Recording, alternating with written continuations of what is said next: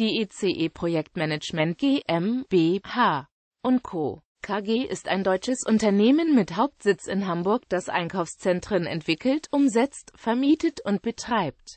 Das Unternehmen ist im Besitz der CURA Vermögensverwaltung, der Holdinggesellschaft der Otto-Familie.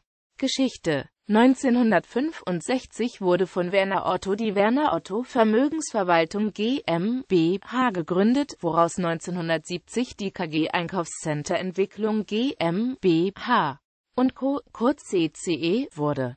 Da das Unternehmen nicht nur Warenhäuser verwaltete, sondern auch andere Gewerbeimmobilien, wurde der Name im Jahr 1979 zu ECE Projektmanagement geändert.